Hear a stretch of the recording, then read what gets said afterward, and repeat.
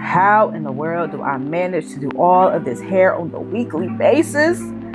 Lord only knows, and I'm getting tired. Hey, PonPon Gang, welcome and welcome back to all of my beautiful subscribers. And if you are new here, my name is Shantae, and I manage this lovely mop of hair here on my channel. And my baby is officially a teenager this year, but I've had to tweak how I do her styles now because she's not into all the girly girly bows and the beads and and the accessories that I definitely overcompensate with. So my latest style for her has been waveformers. In true Leo fashion, she loves to wear her hair out. Style lasts her anywhere from two to three days. So right now I'm just showing you guys my products and kind of, I guess, a technique on how I do it. It is very simple, like very straightforward and simple to do.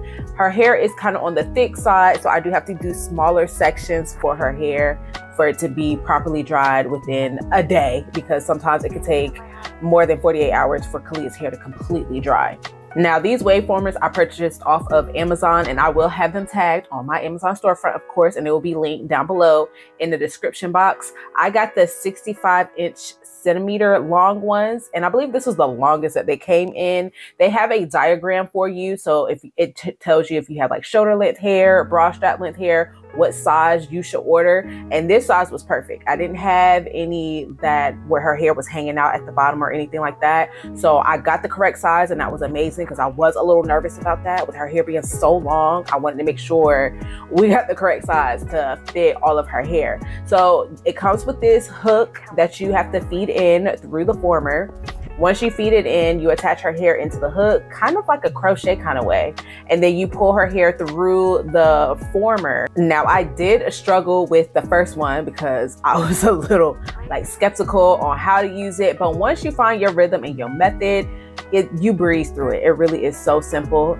The biggest thing that I had to concentrate on was the sections. If the section was too big, her hair was not going to go through that former. And if it was too small, it just looked like a little string of hair inside of it. Once I figured out how much hair could fit into them, I was rolling. We was getting into it, watching our Demon Slayer on the side, my daughter is so much into anime. She drives me insane. She makes me watch it with her. And I'm not gonna lie, some of them kind of catchy and funny. So I, I be over there watching them with her. And now that she's uh, 13, I be having her help with these styles, okay? Because like I mentioned in the beginning, I am tired, okay? I'll be having the middle child and the oldest child tag teaming on wash day to help with my baby boo.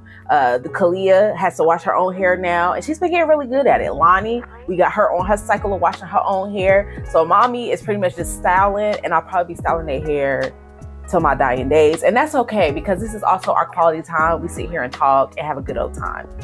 Back to this style, I had her sit under the hooded dryer for a total of five hours.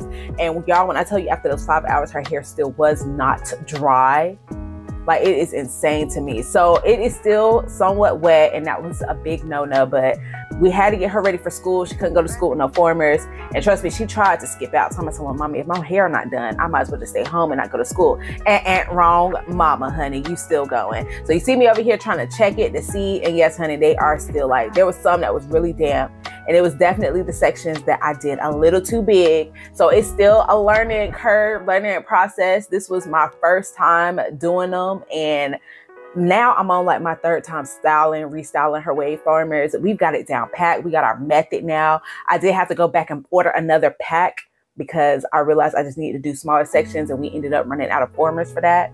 Once I removed all her formers, it's time to separate the hair. Now, I'm not gonna lie, I kind of prefer it like this. I didn't want to do too much separating because I feel like the more you fluff, the less longevity you get out of the style. And with her being 13, a teenager, and don't want to sit down in the hair chair, I was just like, you know what? I'm gonna just put some oil on it to seal everything up. And you, you hopping up out of my chair. We just gonna let humidity, life, and whatever you got going on in school to allow your hair to fluff out naturally. And it most definitely did because when I picked her up after school, you you wouldn't have thought I did her hair on this one, but it was also my fault because her hair was not fully dried. Make sure it is fully dried. Next time we restyled this look for her, I had her sit under the dryer for seven hours instead of five, and we did smaller sections, and that was that was it. We've been on point, but the curls look really good.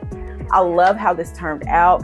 Again, the style lasts her from two to three days. For her nighttime routine, we just pull it up into a pineapple on top of her head and have her sleep with a silk bonnet. And in the morning, we just refluff it back out. But that's the end for this tutorial. If you want more details on the wave formers, please let me know. I'll try to post more here on YouTube. But it's good to be back, and I'm so blessed to have my many followers still checking in on us. We'll see y'all on the next one. Be blessed and be safe.